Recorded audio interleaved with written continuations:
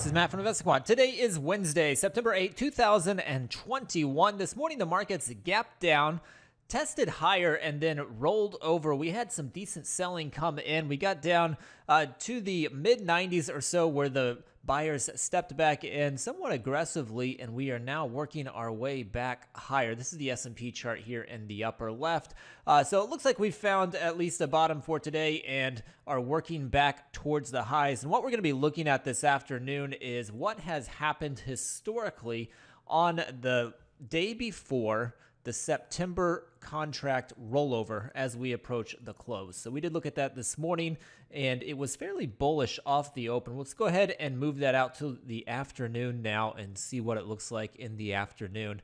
Uh, calendar section here is what I've clicked on. I'm going to go ahead and click on September from active today and then I'm going to go to the market events active today. I'm going to say it is the day before equity index contract rollover. So we'll be updating this seasonality study based upon an entry at 3 p.m. and exiting at 4:15. Let me go ahead and click view results.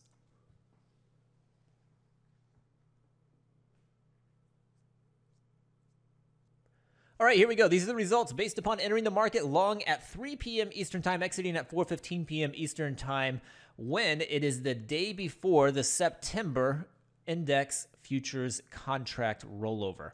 So historically, we've got 17 samples to look at dating back to 2003. Win rates on these are neutral to mildly favored depending on the instrument. The S&P is coming in at 59%, the Nasdaq 53%, the Dow 71%, and the Russell 53%. Those were stronger win rates uh, when we looked at it this morning based upon an entry at 9:30 a.m. Eastern Time. So not as strong here later in the afternoon, historically speaking.